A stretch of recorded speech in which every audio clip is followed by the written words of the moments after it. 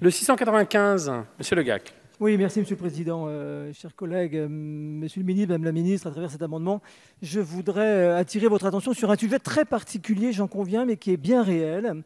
Il s'agit de, celui des, communes privées de fiscalité locale directe, c'est-à-dire qu'elles ne perçoivent pas d'impôts et, pour cause, ces communes n'ont pas de, cadastre. ce faisant, elles ne sont pas éligibles au sens strict à la première part de la DNP, la dotation nationale de péréquation. C'est un peu particulier, puisqu'effectivement, ces communes, comme elles ne perçoivent pas d'impôts, euh, l'effort fiscal de ces communes est donc égal à zéro. Cette particularité les prive en même temps de la part potentielle financière de la DSR péréquation, alors même que ces communes présentent un niveau de richesse en termes de potentiel financier par habitant extrêmement faible. Et je dois vous dire que ces deux communes situées dans mon département sont des îles, les îles de Saint et Molène, qui ne sont pas euh, spécialement connus effectivement pour leur richesse euh, par habitant.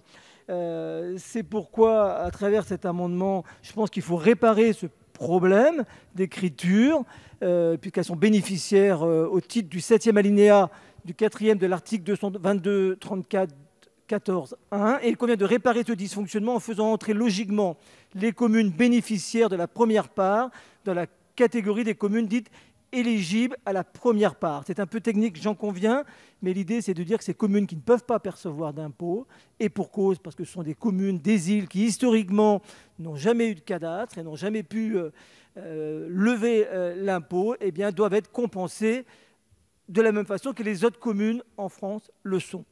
Merci Madame la Ministre.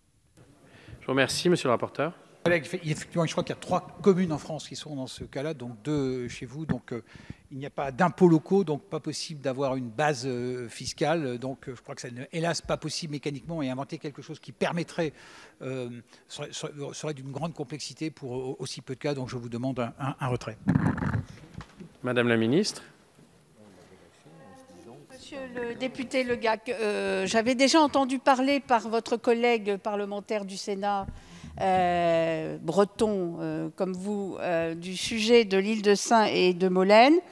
c'est évidemment, elle, bénéficie bien sûr d'attributions de DGF extrêmement élevées, puisque c'est 413 euros par habitant pour Saint et 468 euros par habitant à Molène, soit deux fois et demi et trois fois plus que la moyenne.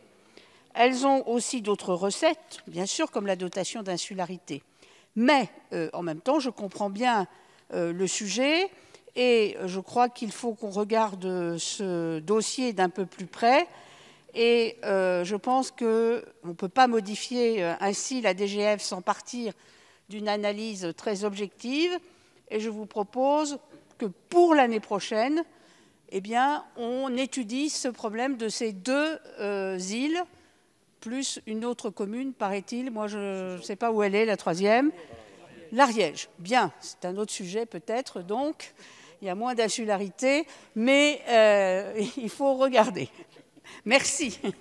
Je vous remercie, Monsieur Le Gac merci pour votre explication, Madame euh, la Ministre, et merci pour votre attention effectivement pour ces communes bien particulières qui sont effectivement, qui en plus de ce que vous avez des, charges qu'elles doivent supporter, supportent tout au long de l'année le coût lié à leur insularité. Donc je retire mon amendement avec l'explication de la Ministre de revenir sur ce sujet tout au long de l'année.